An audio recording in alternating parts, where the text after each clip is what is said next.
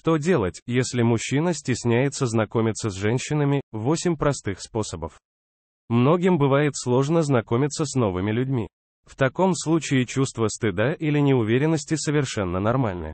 Некоторые советы помогут преодолеть это препятствие. Об этом сообщила психолог Ирина Кулик в Инстаграм. Примите себя. Эксперт советует обратить внимание на свои достоинства и качества. Заинтересованность и разные хобби могут быть отличным основанием для общения с другими людьми. Положительное мышление. Следует попытаться сосредоточиться на положительных аспектах новых знакомств.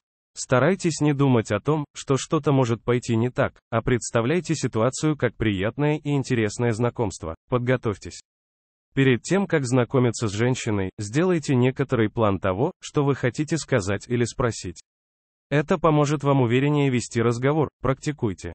Психолог советует находить возможности для общения с другими людьми, например, на социальных событиях, в клубах или в интернете.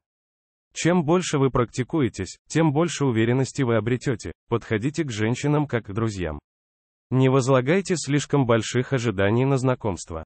Встречайтесь и общайтесь с женщинами как с потенциальными друзьями. Это снизит давление и разгладит ситуацию. Будьте слушателем.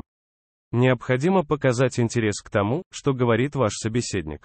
Задавайте вопросы, слушайте внимательно и проявляйте интерес к тому, что вам рассказывают, не забывайте о невербальных сигналах. Важно, что ваша мимика, жесты и позиция тела могут сообщить о вашем настроении и поддержать общение, взаимодействие. Взаимодействие – это нормальный процесс.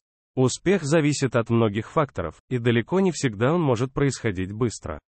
Не стоит винить себя за неудачи, однако радуйтесь каждому шагу вперед. Помните, что самое важное – это быть самим собой и не пытаться изменять себя ради идеала. Психолог говорит, что каждый человек уникален, и успех в общении состоит во взаимном понимании и принятии. Раньше мы сообщали, как не превратиться в служанку для своего мужа, также мы писали, как мнение других людей мешает нам добиваться успеха.